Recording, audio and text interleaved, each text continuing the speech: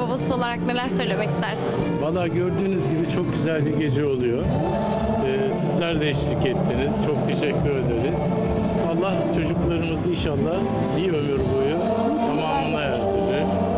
Ee, güzel bir gece. Ee, her gencin herhalde düşlediği bir gece yaşıyorlar.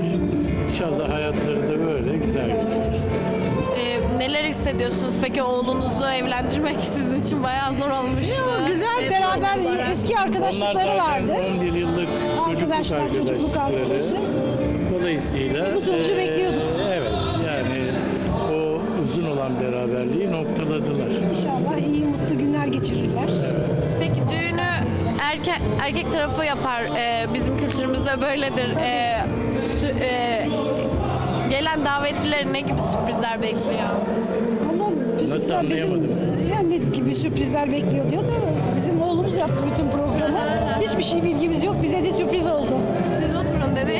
Aha her şey hazır geldi. Gençler artık malum Artık öyle. biliyorsunuz. Çok teşekkürler. Çok Teşekkür sağ olun. ederiz, sağ olun. Allah mesut Teşekkürler. etsin şimdiden. Sağ ol canım.